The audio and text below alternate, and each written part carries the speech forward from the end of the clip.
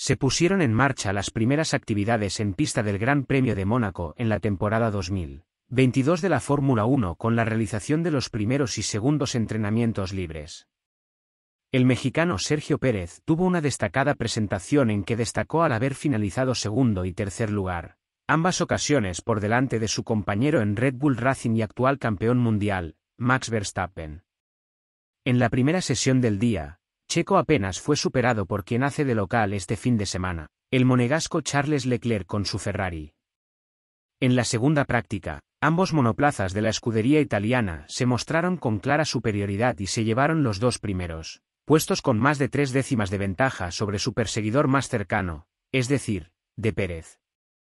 En general, parece que nos falta un poco en comparación con los Ferrari porque ellos parecen muy fuertes. Analizaremos los datos y veremos qué podemos hacer, pero parece que hoy son muy rápidos. Nos ha sorprendido un poco la diferencia con ellos hoy.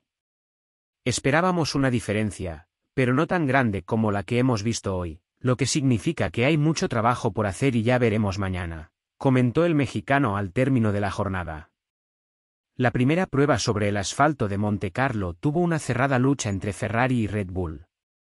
En un circuito que parece sentarle cómodo, Leclerc marcó el mejor tiempo de la sesión al parar el cronómetro en 1.14.531. Apenas 0.039 segundos más tarde, se ubicó Checo y detrás el español Carlos Sainz a bordo del segundo F1, 75. Verstappen finalizó cuarto. Entre los cuatro pilotos existió una diferencia de menos de dos décimas.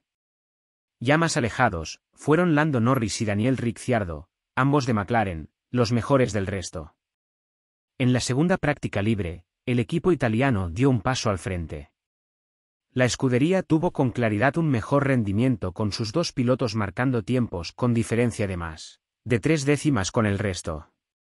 Pérez y Verstappen completaron el cuarteto de mejores tiempos, pero ambos con sensaciones de insatisfacción por su rendimiento.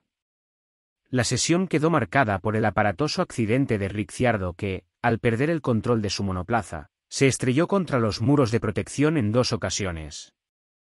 Si conseguimos un mejor equilibrio, podremos atacar un poco más las curvas y, y por supuesto, nuestros tiempos mejorarán.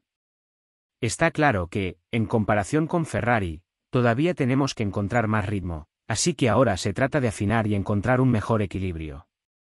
La pista se siente diferente este año con los nuevos coches. Los coches son un poco más pesados y más lentos y un poco más accidentados porque son más rígidos, dijo el actual campeón Verstappen. En el segundo día de actividades, tendrán lugar la última sesión de entrenamiento y más tarde la de clasificación, en donde se decidirá el orden de salida para la parrilla del domingo. En su más reciente actuación en Mónaco, en 2021, Checo Pérez largó desde el noveno puesto al no rendir de la mejor manera en la fase previa a la carrera. Sin embargo, tuvo una recuperación importante en competencia y obtuvo el cuarto lugar definitivo, su segundo mejor tiempo histórico sobre el circuito de Monte Carlo.